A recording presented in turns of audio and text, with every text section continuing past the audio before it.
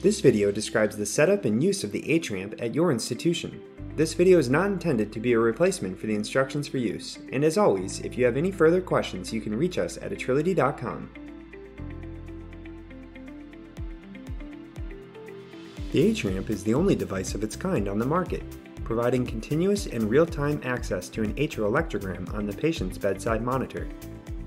The diagnostic information from atrial electrograms is useful in both the surgical suite and postoperative settings, and to support this use, the AtriAmp is provided as a sterile, single-use device.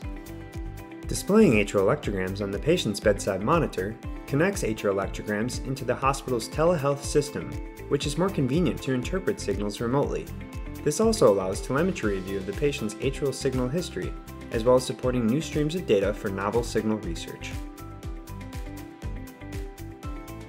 Connect an atrial epicardial wire to the negative port on the AtriAmp by inserting a pacing wire into the appropriate negative port while pressing the corresponding side button.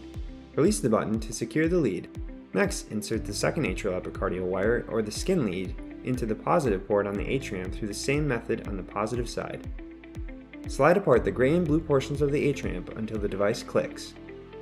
Do not slide apart the pacing lead covers when using pacing wire leads that have wide plastic bases as this could eject the pacing wires from the device. Secure the AtriAmp to the patient's gown or bed linen using the clip attachment. The AtriAmp can be safely connected to a Type-CF defibrillation-proof monitor. Configure the monitor to display a limb lead and the V lead concurrently. This will allow for timing and interval comparison to be performed between the two leads. Confirm the automated monitoring and alarms are detected from the limb lead electrogram the V-lead signal does not adequately fit the available display area, increase or decrease the V-lead monitor scaling as necessary. Note, the atrial signal may not be visible during pacing due to the large relative size of the pacing signal.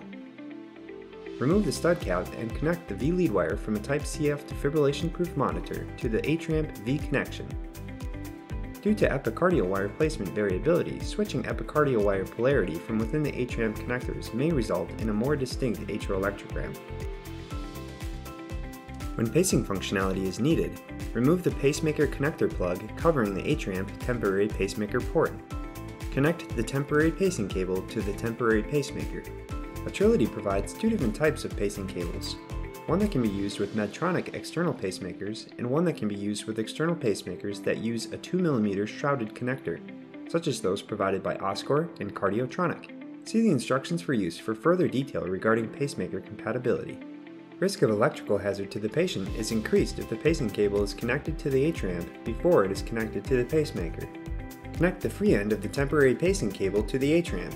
Confirm that the pacemaker has an effective pacing connection to the patient. Before disconnecting the pacing cable from the pacemaker, disconnect the pacing cable from the AtriAmp. Replace the protective connector plug in the AtriAmp pacemaker connector. Disconnect the ECG V-lead connector and replace the V-stud protective cap. If patient requires additional monitoring, reconnect the V-lead to a surface V-positioned electrode. Epicardial wires can be released from the AtriAmp by pressing the button from the corresponding side. The buttons can be pressed while the AtriAmp is in either of the pacing lead cover positions. Dispose of the AtriAmp. The AtriAmp was designed as a single-use device and was not cleared by the FDA for use on multiple patients.